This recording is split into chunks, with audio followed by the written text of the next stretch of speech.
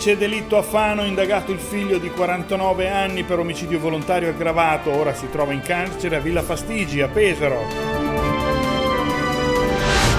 Più sicurezza al Parco Miralfiore. Tra spaccio, morte e paura servono nuovi interventi mirati. Si farà gioco di squadra. Il generale Vannacci ai nostri microfoni parla della vittoria alle elezioni per il Parlamento europeo.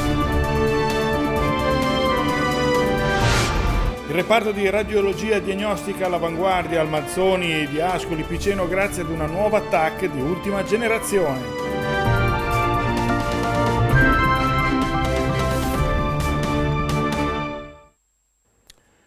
Buonasera, seconda edizione di All News, il TG delle marche di TVRS. Siamo dalla sede di Fano, Fano che purtroppo è stata funestata, come sapete, dal duplice omicidio scoperto nella giornata di ieri, ma uh, durante l'interrogatorio fiume di oltre 16 ore, arrivato fino alle 4, 4 e mezza di questa mattina, parziali rivelazioni del figlio eh, lo hanno portato fino eh, ad essere eh, indagato e naturalmente per omicidio. Adesso eh, in questo, in, questo, servizio, in questa scheda, ripercorriamo la lunga giornata di, di oggi. È una giornata in cui molti eh, nel quartiere soprattutto si stanno interrogando su quanto accaduto, un quartiere che già in passato era stato scenario di eh, efferati fatti di sangue, l'ultimo in ordine di tempo praticamente quasi un anno fa, insomma quindi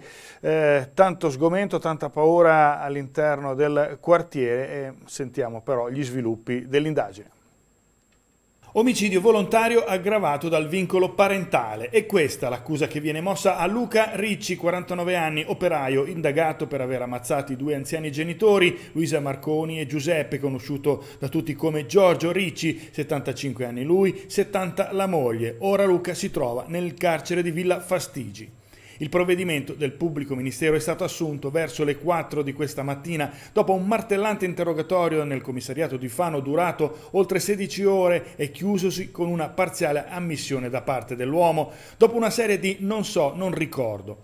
Ma sono diversi i punti ancora oscuri su cui gli uomini della mobile di Pesaro e del commissariato di Fano, assieme al giudice Maria Letizia Fucci, devono far luce.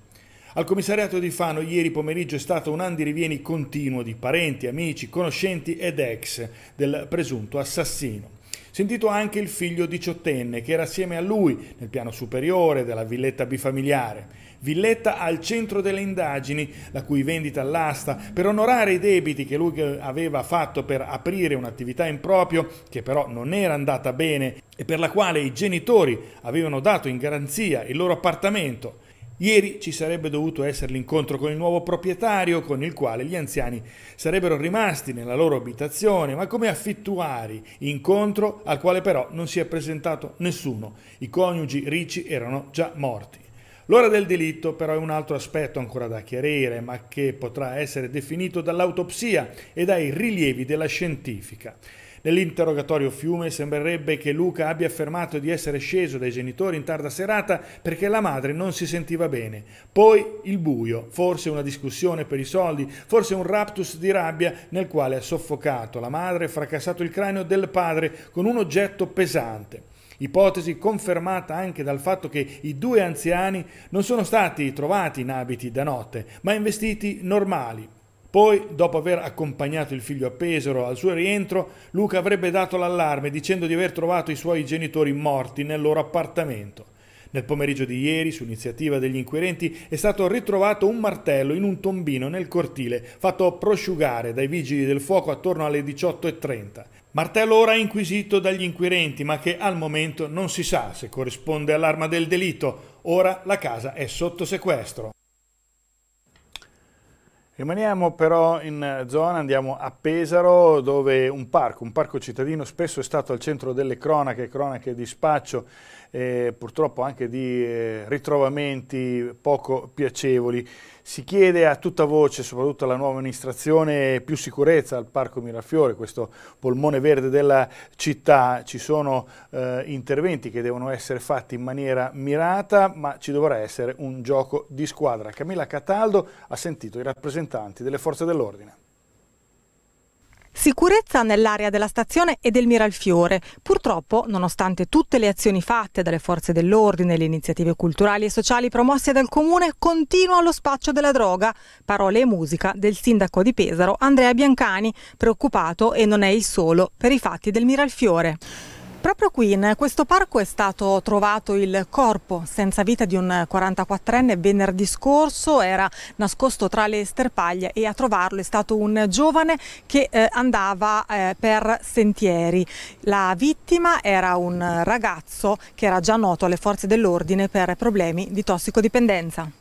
Il problema è sicuramente complesso e non è semplice da risolvere. Gli spacciatori ci sono perché ci sono i consumatori. Chi la droga la usa, ha osservato Biancani, che si incontrerà con il prefetto e tutti gli organismi preposti a garantire la sicurezza pubblica. Il Parco Mirafiori è uno dei luoghi che è continuamente all'attenzione eh, del, del, prefetto, del questore, di tutte le forze di polizia, anche della polizia locale. È, è un luogo eh, che è stato oggetto di molti comitati, ordine e sicurezza pubblica e che sarà eh, appunto di nuovo eh, diciamo, oggetto di una riunione eh, il prossimo 28 mm, di giugno. Noi abbiamo questo progetto Sofia che è proprio eh, una mappatura di tutti i sistemi di videosorveglianza, è fondamentale eh, che anche il parco rientri in, questa, in questo sistema e sia eh, diciamo, videosorvegliato mm, completamente. Spesso si parla di persone straniere, ma non solo. Vanno reintegrati o puniti questi soggetti?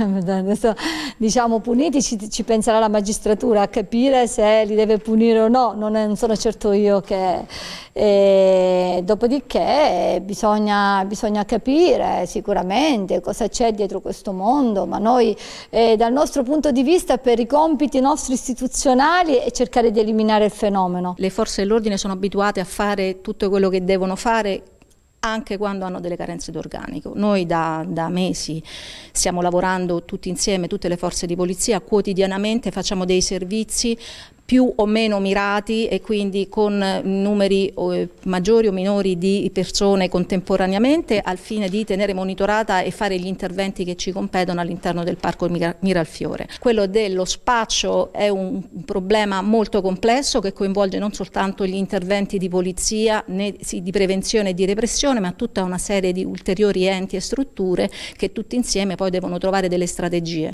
Ci dobbiamo anche porre il problema di come mai ci sia tanta richiesta di sostanza stupefacenti. Polizia locale impegnata ad Ancona negli ultimi tre giorni per sottoporre a verifiche di diverse natura la zona del piano di Ancona, in particolare la piazzetta e il corso Carlo Alberto, via Giordano Bruno e Toroidi. Sono state effettuate oltre 50 identificazioni che hanno portato anche alla contestazione di alcune infrazioni, tra queste elevate due sanzioni per ubriachezza molesta, identificato anche l'autore di un furto perpetrato ai danni della COP del piano. La persona è stata denunciata a piede libero dall'autorità giudiziaria.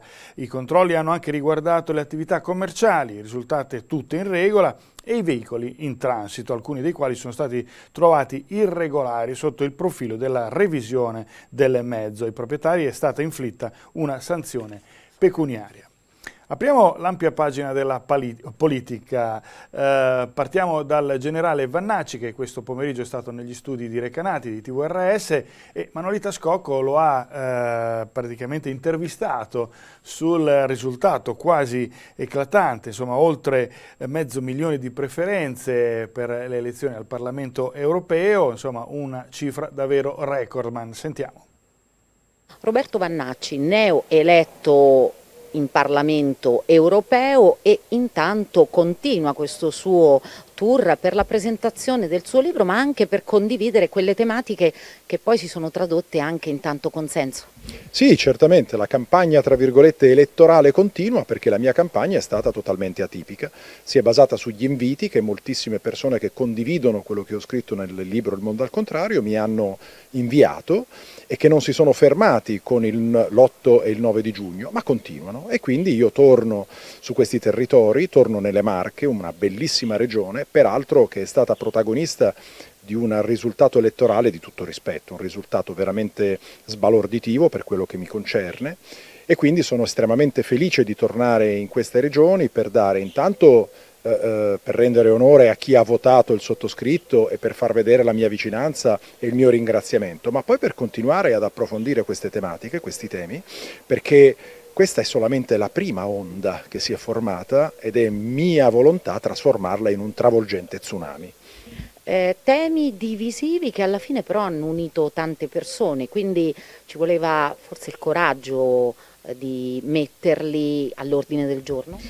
Ma i temi veri sono tutti divisivi, perché una tematica, se è sentita, o si è pro o si è contro e quindi ci sono chi si schiera da una parte chi si schiera da una parte. Quello che dico sempre è che le scelte condivise non sono scelte serie, perché se accontentano tutti vuol dire che non è una vera scelta, vuol dire che è un qualche cosa di anacquato e diluito.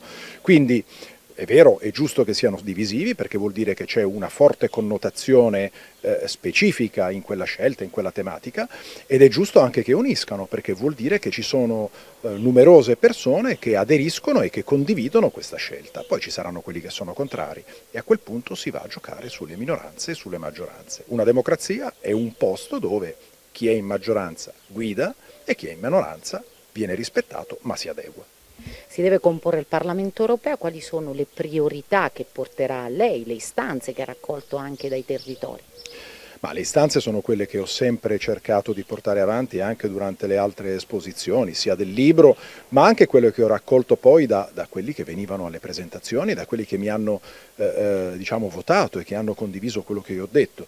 Intanto bisogna pensare alla sicurezza, la sicurezza che è direttamente connessa con l'immigrazione. Noi viviamo purtroppo in un'Europa insicura in un'Europa instabile che ha due guerre alle proprie porte, un'Europa dove ci raccontano che moriremo per il disastro climatico, che stiamo ancora, eh, diciamo questo Armageddon che ancora non è venuto, e invece dobbiamo promuovere un'Europa che sia più ricca, e che quindi non si possa permettere il lusso di star dietro al Green Deal e al Rewild Europe che porteranno a una retrocessione economica che produca di più, perché più ricchezza vuol dire più assistenza sanitaria, più, eh, più scuola, più ricerca, più università e anche più sicurezza, perché senza risorse non si riesce a far nulla. E quindi mettendo tutto insieme, quindi dicevamo sicurezza, Green Deal, Rewild Europe e rilancio economico. Bene, tematiche che saranno all'oggetto di diverse eh, sessioni del Parlamento europeo, vedremo. Allora, il senatore De Poli eh, del, dell'UDC, il presidente nazionale, ha espresso un giudizio sul voto alle comunali nelle Marche, il ballottaggio praticamente che c'è stato eh, lo, scorso, lo scorso fine settimana. Sentite che cosa ha detto il centrodestra si conferma forza trainante nelle Marche, ottenendo uno straordinario successo in tutte e tre le città al ballottaggio. Dopo il grande risultato delle europee e del primo turno delle amministrative, anche Osimo e Recanati passano al centrodestra con la vittoria di Francesco Pirani e di Emanuele Pepa, mentre a Urbino viene riconfermato il sindaco uscente, Maurizio Gambini, al suo terzo mandato. Dopo quattro anni di governo regionale e due anni di governo nazionale, nelle Marche continuiamo a crescere e a confermarci maggioranza nelle città e nei piccoli comuni. I miei complimenti ai neoeletti sindaci e un grande in bocca al lupo per le sfide che dovranno affrontare. Chiudiamo questa eh, lunga pagina elettorale con il sindaco di Recanati, nuovo eletto, che oggi ha indossato per la prima volta la fascia di sindaco. Manolita Scocco. Alle 12.30 di questa mattina la proclamazione del sindaco eletto Emanuele Pepa, che all'aula magna del comune di Recanati ha indossato la fascia di primo cittadino, aprendo ufficialmente la legislatura all'indomani della vittoria al ballottaggio con il sindaco uscente Antonio Bravi. Tra gli applausi e la soddisfazione di sostenitori e neoeletti consiglieri, per Emanuele Pepa è già tempo di parlare di futuro. Sarà sicuramente un futuro con la gente e per la gente vorremmo essere con loro, costruire il nostro futuro recanatese, i nostri programmi e soprattutto i nostri, i nostri sogni che tanto ci è cari e sempre, ci pare sempre insommortabili, invece dobbiamo capire che quando c'è un sogno c'è un obiettivo, c'è un'aspettativa, c'è una convinzione di poter portare il risultato e lavorarci fino in fondo. Con, con, tutti i nostri amici della coalizione ma soprattutto con il personale, con i dipendenti comunali perché tanto hanno, hanno dato fino ad oggi, tanto chiederò altrettanto anch'io quando, da domani, perché comunque oggi ancora abbiamo fatto le presentazioni, ma domani saranno subito al lavoro insieme. Bollette più leggere, energia elettrica, e naturalmente sappiamo che dal primo di luglio ci sarà il passaggio definitivo al mercato libero, che cosa si deve sapere e a cosa fare attenzione. Sentiamo il servizio di eh, Camilla Catato. La bolletta della luce è la svolta che si avvicina. Dal primo luglio scatterà la fine del mercato tutelato. Nessuno stop all'elettricità, forniture garantite e risparmi calcolati fino a 130 euro l'anno. Il passaggio avverrà in maniera automatica al servizio delle tutele graduali, il sistema che andrà a scadenza nel 2027 e che accompagnerà il passaggio al sistema di pura concorrenza. Non cambia nulla per i vulnerabili. Il consiglio nostro è di appunto rientrare per questi soggetti vulnerabili nel sistema di tutela perché per loro è decisamente più conveniente. I clienti domestici dell'elettricità non vulnerabili sono quelli che ricevono, fino ad oggi hanno ricevuto la bolletta del servizio elettrico nazionale. Per questi clienti dal primo luglio di quest'anno c'è il passaggio nel mercato libero, però questo passaggio avviene in maniera, come dire, eh, con un periodo di transizione, avviene in maniera graduale.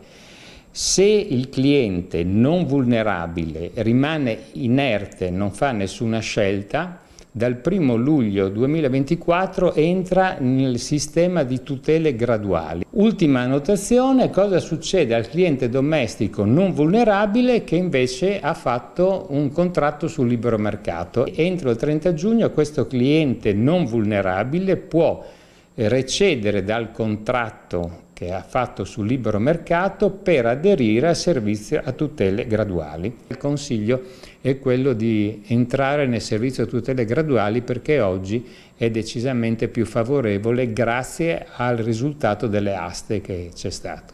La completa liberalizzazione del mercato dell'energia elettrica è più complessa rispetto a quella del gas. C'è il rischio di truffe attraverso il telemarketing e il porta a porta. Vogliamo mettere un attimo allerta le persone rispetto a una pubblicità aggressiva che abbiamo registrato in quest'ultimo periodo, soprattutto da parte di piccole società, talvolta anche sconosciute, che contattano le persone via telefono eh, con comportamenti insomma, non sempre eh, eh, corretti anche dal punto di vista del, delle informazioni.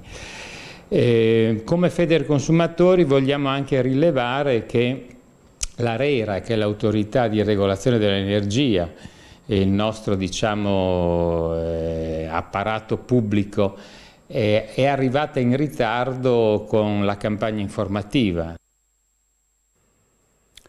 Parliamo di sanità, sanità pubblica, una nuova TAC di ultima generazione all'ospedale di Ascoli Piceno permette all'ospedale e al reparto di radiodiagnostica di essere all'avanguardia.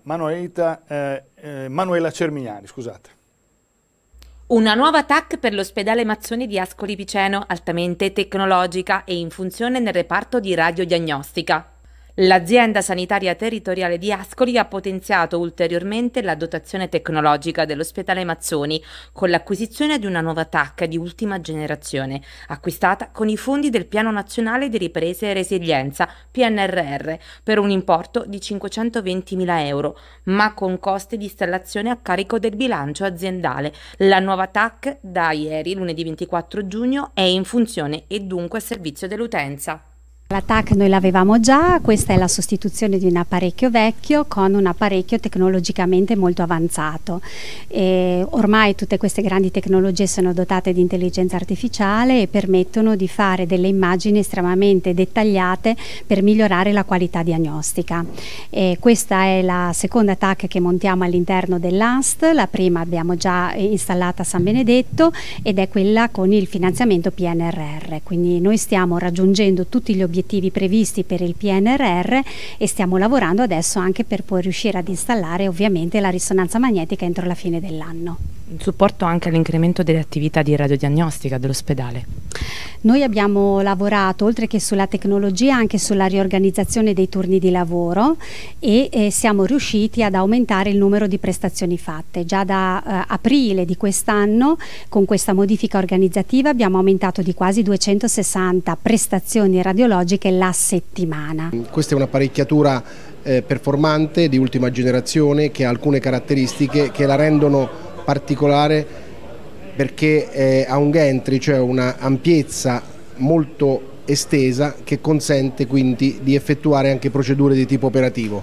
Ad esempio in radiologia interventistica noi utilizziamo la TAC come guida per effettuare alcune prestazioni, quindi la comodità del gantry sia per il paziente che per l'operatore agevola l'effettuazione di queste procedure. Parlo in particolare di posizionamento di cateteri nel corpo in sedi profonde, l'effettuazione di biopsie in sedi complesse oppure addirittura il trattamento eh, di particolari lesioni neoplastiche, parlo a livello di fegato, di rene, di osso in guida TC.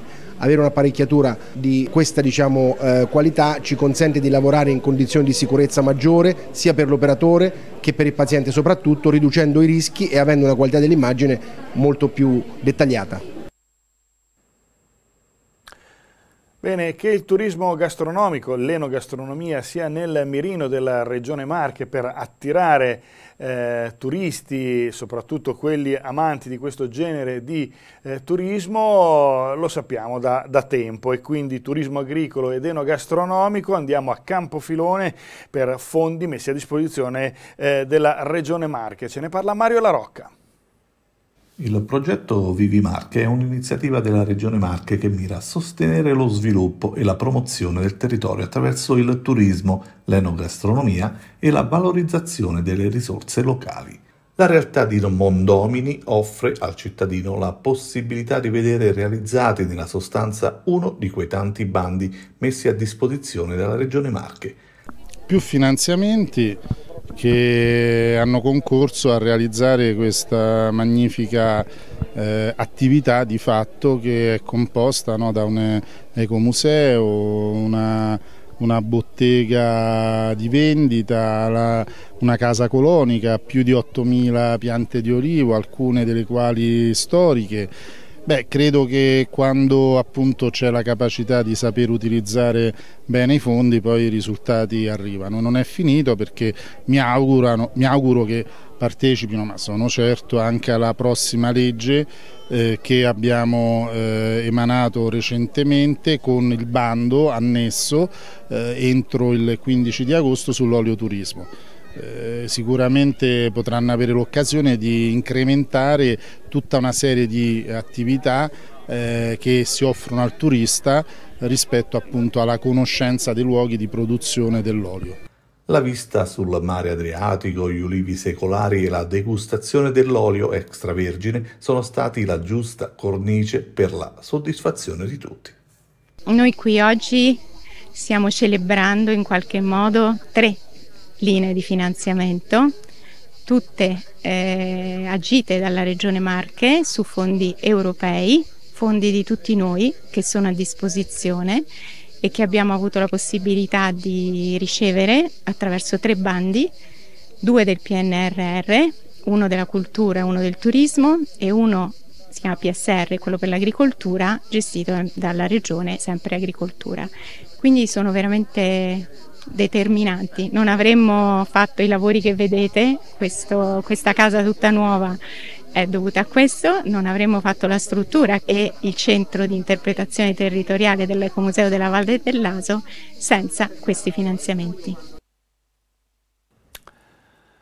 Bene, eh, prima di lasciarvi vi posso dire che eh, la Polizia Scientifica ha fatto un ulteriore sopralluogo questo pomeriggio, poche ore fa, nella villetta di Fano in via Fanella alla ricerca di ulteriori riscontri in base anche un po' alle dichiarazioni che ha rilasciato eh, Luca, il figlio, durante il suo interrogatorio eh, nella notte scorsa e quindi cercano riscontri, cercano abiti, forse alcuni oggetti indicati dallo stesso indagato per avere eh, testimonianza di quello che è stato dato. Quindi sicuramente ancora risi e ancora mm, naturalmente i eh, mm, poliziotti della scientifica che sono all'opera per eh, andare a fondo e capire benissimo eh, e meglio che si può le dinamiche di questo efferato omicidio. Bene, eh, adesso il sommario di questa edizione serale. Duplice delitto a Fano, indagato il figlio di 49 anni per omicidio volontario aggravato, ora si trova in carcere a Villa Fastigi, a Pesaro. Più sicurezza al Parco Miralfiore. Tra spaccio, morte e paura servono nuovi interventi mirati si farà gioco di squadra. Generale Vannacci ai nostri microfoni parla della vittoria alle elezioni per il Parlamento europeo. Il reparto di radiologia diagnostica all'avanguardia al Mazzoni di Ascoli Piceno grazie ad una nuova TAC di ultima generazione. E questo è tutto, grazie per essere stati con noi, l'informazione torna domani con le due edizioni di All News. Arrivederci.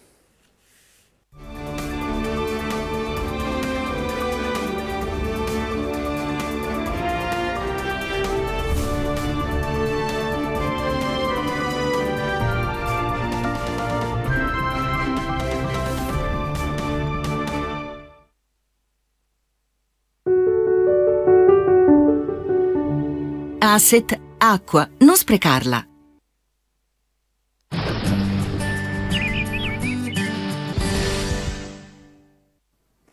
Bentrovati da Nico Schiodetto, previsioni per la giornata di mercoledì quando ritroveremo ancora una situazione bloccata sull'Italia con un minimo di bassa pressione foriero di qualche rovescio temporale. Bloccata perché ritroviamo l'alta pressione più a nord e quindi il flusso atlantico ancora non muove questo minimo di bassa pressione verso est, ma lo farà da giovedì con un sensibile miglioramento. Nel dettaglio ecco la nuvolosità grande variabilità sull'Italia centro-settentrionale, mentre tempo più soleggiato e atteso al sud e sulle isole maggiori. Ce lo conferma questa mappa con ancora rischio di qualche fenomeno in giornata entro il pomeriggio sull'Italia settentrionale, specie ridosso le montagne e anche sul medio Adriatico e aree interne della Toscana. La mappa dell'Italia ci conferma l'instabilità, come dicevamo, su parte del centro-nord, mentre tempo più soleggiato al sud e sulle isole maggiori le temperature comunque oscilleranno mediamente tra i 25 e i 30 gradi. Maggiori dettagli e approfondimenti scaricando l'app di Travi Meteo.